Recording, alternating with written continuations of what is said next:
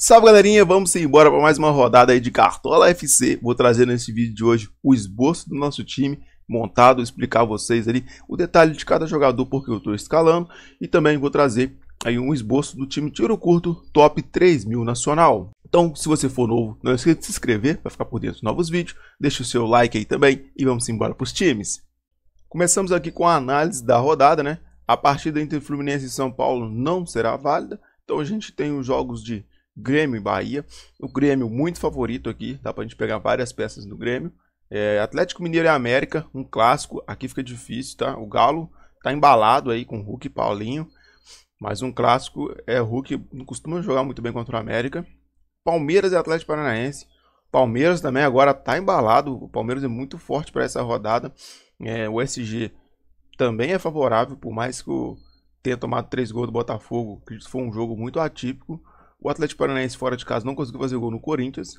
A gente tem Bragantino e Corinthians, um clássico aqui. Eu prefiro ficar de fora, né? Apesar que o Bragantino tá embalado também. O Corinthians também tem 25 jogos sem perder. Cruzeiro Internacional, o Cruzeiro Cabuloso precisa vencer. O Inter também, jogo bom aqui. Tendência de jogo bom para gols. Então, olho no Ener Valência.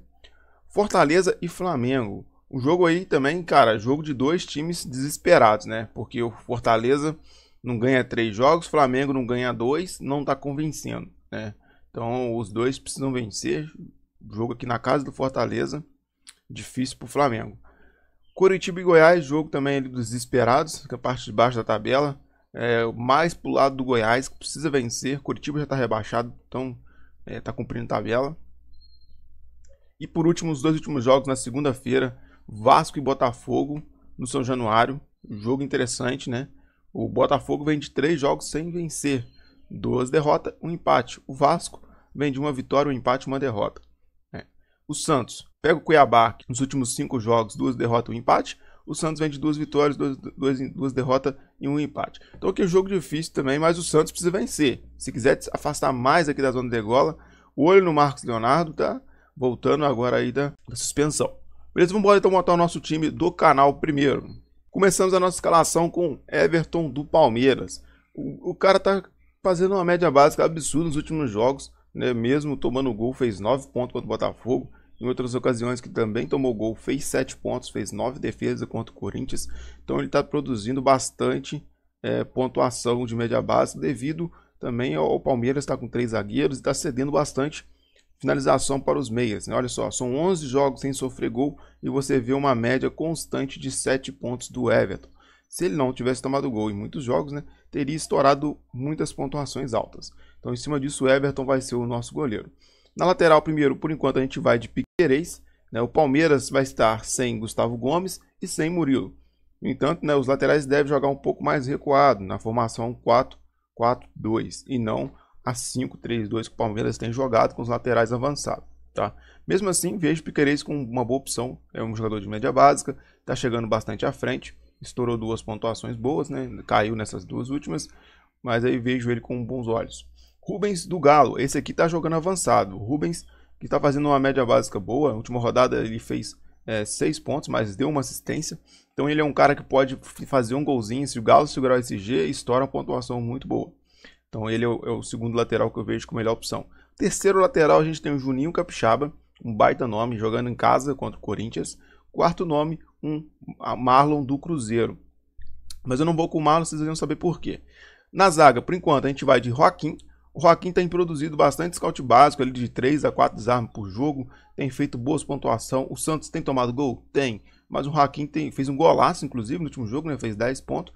E ele entrega ali 2, 3 pontos quando toma gol. Então ele é um baita nome e está jogando muito bem, é o que está salvando o Santos na parte defensiva.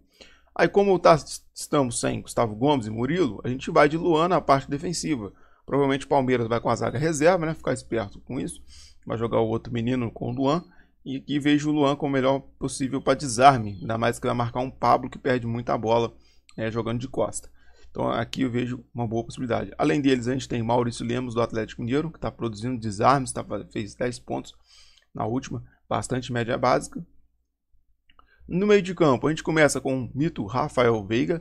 É, deu uma assistência no último jogo no finalzinho, senão ele ia fazer só 3-10. Mas em casa, cara, é o único meio de campo que eu vejo na rodada como unânime.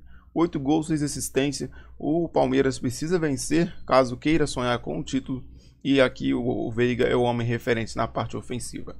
É, o segundo meio de campo a gente vai de Alan Patrick. O Alan Patrick está produzindo é, bastante scout básico e se participar com gol assistência vai estourar. O Inter está embalado, né? O Alan Patrick vem de uma sequência de quatro pontuações boas.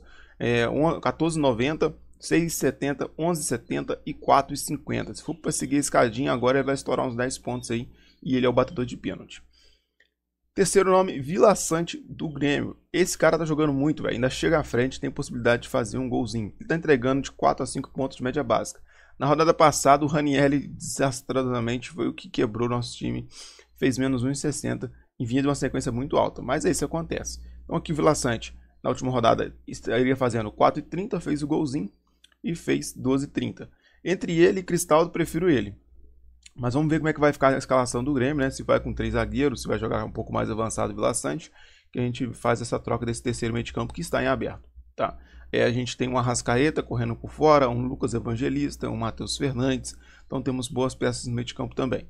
No ataque, começamos com ele, né? Luiz Soares. Luiz Soares que, por incrível que pareça, na última rodada deu uma assistência, fez só 5,80, na antepassada fez 24,40. E eu acredito aqui no potencial do Soares entregar uns 10, 13 pontos novamente, né? Tem média básica de 3 pontos. Vai enfrentar o Bahia. Em casa, não tem como não colocar o Luiz Soares e faixa nele, viu? Segundo atacante, Marcos Leonardo. Vai enfrentar um Cuiabá. Não, é de tomar muitos gols. Mas Marcos Leonardo em casa é um excelente jogador. E eu acho que tem tudo para poder fazer um bom jogo. Aqui vejo um nome alternativo fora dos mais escalados. Em Valência do Internacional contra o Cruzeiro. Aqui eu vou fazer uma apostinha no Valência que vem de quatro jogos seguidos marcando, uma sequência muito boa do Inter. É um dos melhores ataques nas últimas cinco rodadas é o do Internacional. Apesar de ter feito só um golzinho, né? A última rodada quem fez foi o Ener Valência. E é o, é o, cara do Inter também na parte ofensiva. Cruzeiro não está vindo muito bem, tomou gol do Luciano na última rodada. E eu vejo aqui um jogo bom para gols. O Cruzeiro vai ter que partir para cima. O Cruzeiro em casa é, não tem jogo, feito bons jogos, então vai ser difícil e eu coloco o Ener Valencia para fazer uma postinha mesmo fora de casa. Além dele, a gente tem um Hulk correndo por fora, mas é clássico, né? Hulk possibilidade também. Foda, velho. Você deixar o Hulk de fora é triste, porque o cara vai lá mete 20 pontos. Aí você escala e faz 5. E o nosso treinador vai ser o Renato Gaúcho, né? Postando ali na vitória do Grêmio. Ele tá fazendo um média de 5 a 7 pontos. Então isso é bacana. Também temos o treinador do Palmeiras, caso queira escalar. Beleza? Esse aí ficou então o nosso time do canal. Agora, a escalação do top 3000 nacional, a gente fez algumas, foram três mexidas em relação ao time do canal que eu acabei de mostrar a vocês.